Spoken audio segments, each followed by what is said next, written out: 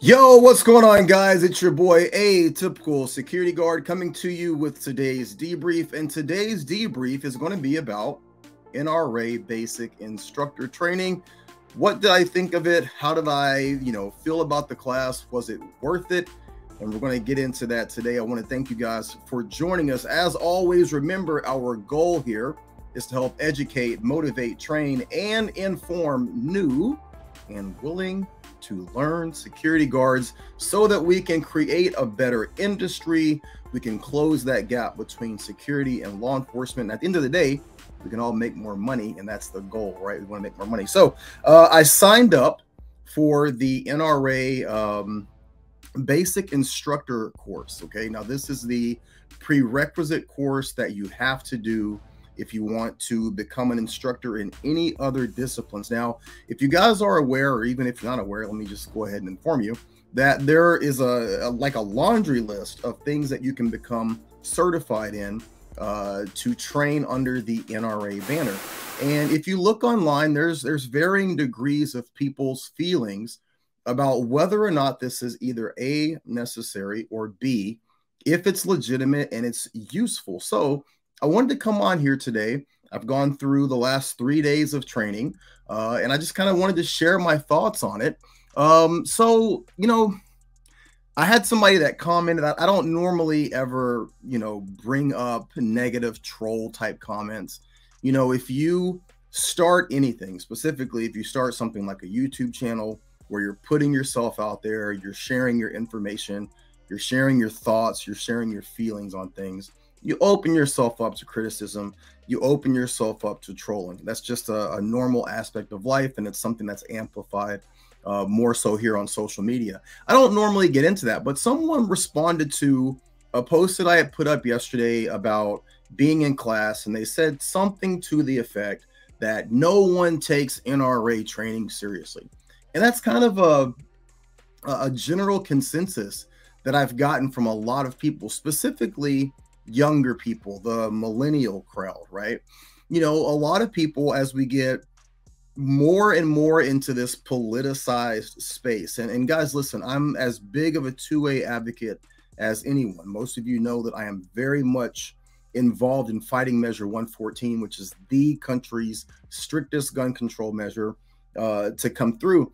Uh, most of you guys know that I am I am named in that federal lawsuit. I am named as a as a plaintiff against the state of Oregon. I've been working diligently uh, to fight Measure 114, and I am an advocate for 2A rights. So I understand that there are a lot of people that have issues with the NRA. There's a lot of negative history with the NRA, specifically for my community, for the Black community. There are some horrible things that the NRA has been involved in. There are some horrible things that the NRA has not gotten involved in that I believe some people could look at and say that that is either racially based or politically based. I get that. Okay. I understand all of those things. That is everyone's right to have that opinion. However, and this is the important thing, when it comes to the Second Amendment, we do not have a lot of organizations that are out there fighting for our Second Amendment rights. And we have even fewer that have the financial background, the financial backing, rather, or the political cachet to actually do anything in terms of fighting anti 2A legislation or fighting for Second Amendment rights. The NRA is perfectly poised and in position to do that. I know there are many other organizations out there. I don't want this to become a political speech, but that is just my quick disclaimer that I understand that some people have personal, political, philosophical, historical issues with the NRA. I do not believe that that has anything to do with the subject that we're talking about right now on whether or not the training itself is important, if it's viable, or if it's good and just and positive. So I want to just kind of go over the five things, um, the five things that I experienced, okay, and why I feel these are important aspects of being an instructor, okay. So let's get right into it. I'm going to start with number five. Number five is that it's a basic level instructor training, okay. Now you have to remember when it comes to people across the board, no matter what we're talking about, everyone has to start somewhere, right? And some of you who are, you know, awesome shots and you've been around firearms your entire life. Some of you have done amazing things in your military career. Some of you have, you know, law enforcement experience or contractor experience or all kinds of of information that you've been exposed to and you are an absolute phenomenal teacher in and of itself right now.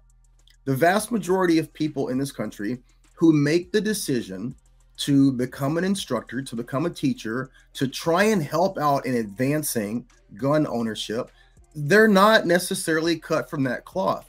And so, as an organization, what the NRA has done is they've said, look, we are going to create a base level, basic instructor training class so that anyone from any walk of life, any demographic, any socio-economic platform can come in and day one can understand how to set up and teach a class. And now, what I liked about uh, the basic instructor training class is that you know everything is written out for you. Everything from this is where you get your materials. This is you know how you set up a class. This is how you uh, write a lesson plan. Now, for some people, again, this is just common knowledge.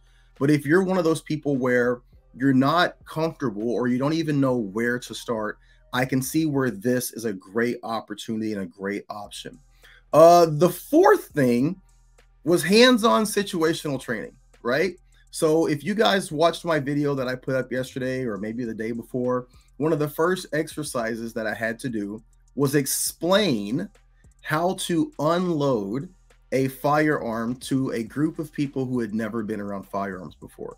But the caveat was I could not use my hands. I had to have my hands in my pockets, right? So most of the time, like if you're, you know, demonstrating how to unload a firearm and you're holding that firearm, it's so easy to be like, you know, here's where the slide release is, or sorry, the mag release is. Here's the slide lock. Uh, you know, this is the trigger. This is the trigger guard. If you don't have access to actually hold that firearm, you're able to use your hands. You guys see me. I talk a lot with my hands, right? But if you take those two things away, the only thing that you have now is just your audible voice. You're able to talk to people, but it forces you to be more articulate. It forces you to be more descriptive.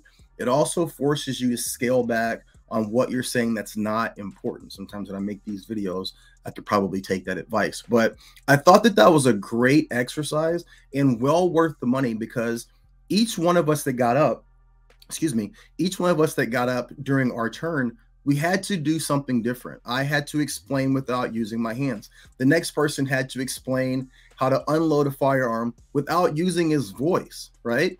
The next person had to explain how to unarm, uh, unload a firearm by demonstrating.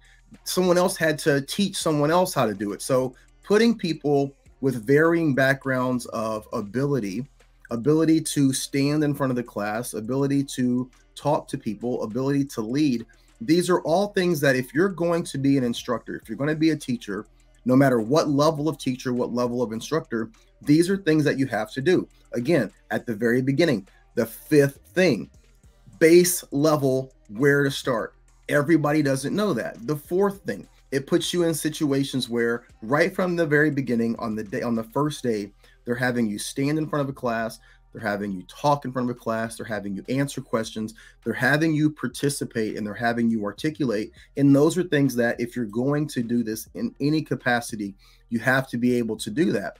That can't be done in an online Zoom class or a class where it's it's strictly online. I thought that that was very very beneficial. Uh, number three, the NRA offers a level of legitimacy. Now, any of us can teach firearms, right?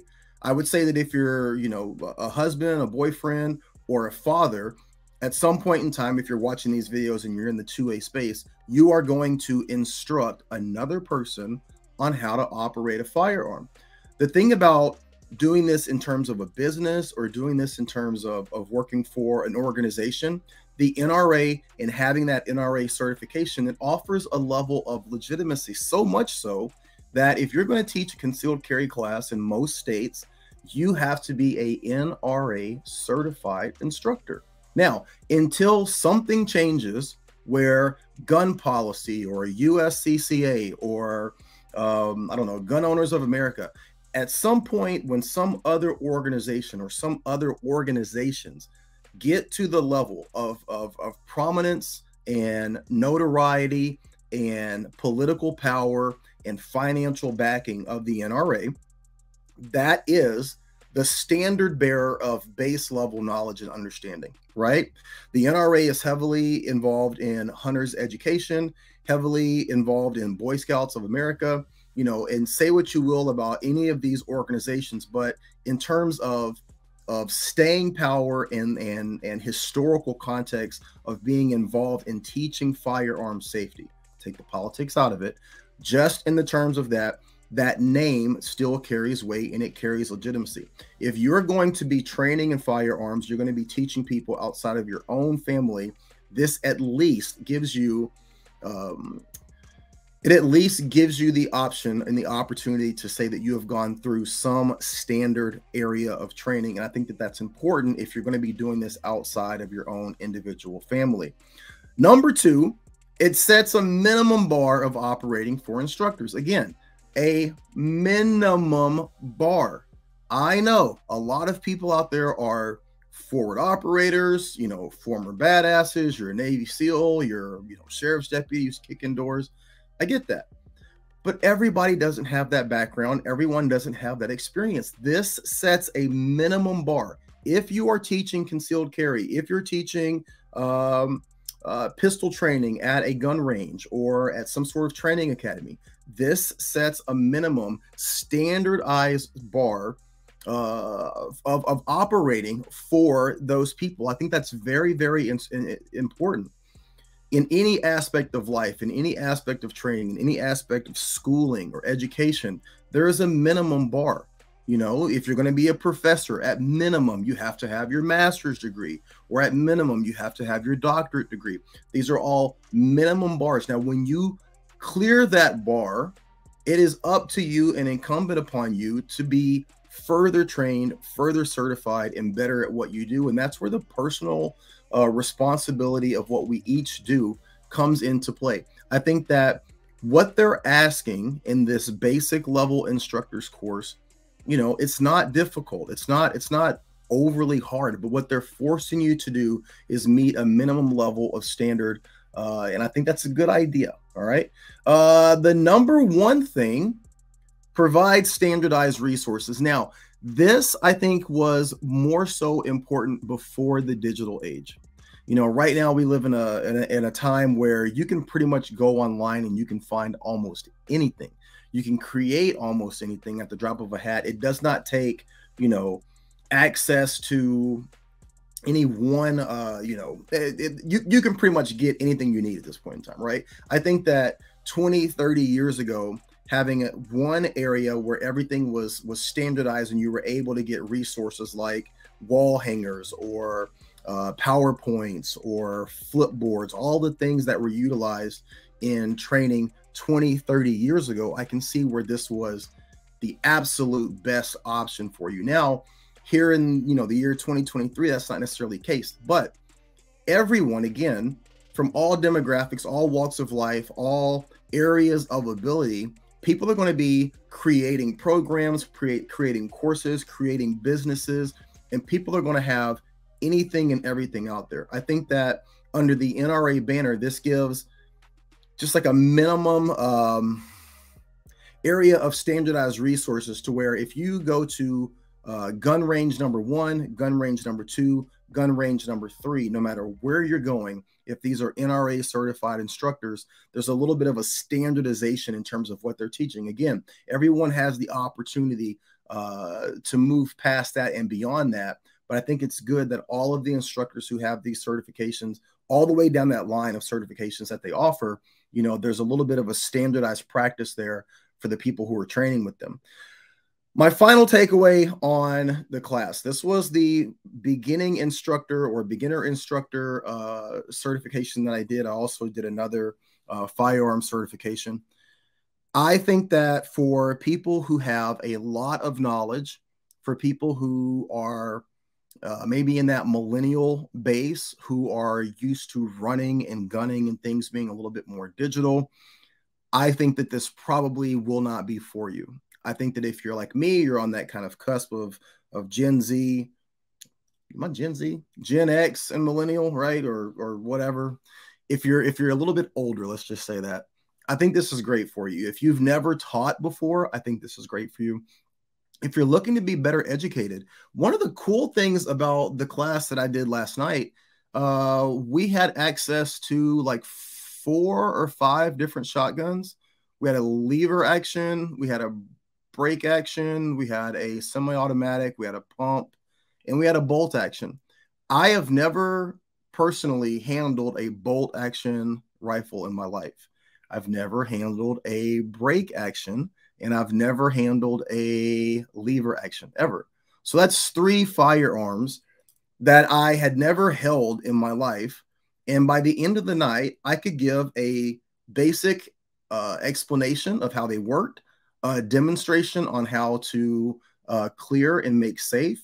I could explain where the safeties were. I could explain how the action worked. You know, this is something that for me as a as a gun enthusiast and someone who wants to be better educated, I I had never been around those before. And just via this class, you know, I was able to to not only be placed in the vicinity of those, but be able to handle them, get hands-on training, and be able to explain a lot more about them. We also talked about revolvers, we talked about semi-automatics you know, had these firearms in my hand, able to to break them down, to look at them, to talk about how they work, the actions, the functions. And there were so many people in my class who were who were way less educated on firearms than I was, and there was people who were way more. And it was great to see how everybody worked together to kind of bridge that gap. And that's something that we talk about here a lot, bridging that gap. So I would say on a scale of 10, 10 being an absolute knock it out of the park, I would give it a 6.5 to a 7. 6.5 to a 7, only because a lot of the stuff I already knew, a lot of the stuff I felt like I, you know, was kind of was kind of redundant, but again, I completely understand why it's there. I understand why it's necessary, and I thought that it was a good class. I really did. Um, I'm not going to get into the secondary class that I did yesterday or last night, rather, and today, but I will say the basic instructor class, those are my five takeaways, my five points, why I think they're beneficial. And if you've never taught before, if you don't feel comfortable speaking in front of people, if you want to get into uh, facilitating concealed carry classes or helping people be better um, knowledgeable about the basics of firearms and firearm safety, I think it was very, very, very beneficial. And the instructor that led the class, he did a great job, phenomenal job. So that's my thought. That's my debrief for today. As always, thank you guys for tuning in. Remember to like, share, and subscribe. As always, watch your six. Remember to download the Security Guard Network app now available on iOS and Google Play and be great. Boom!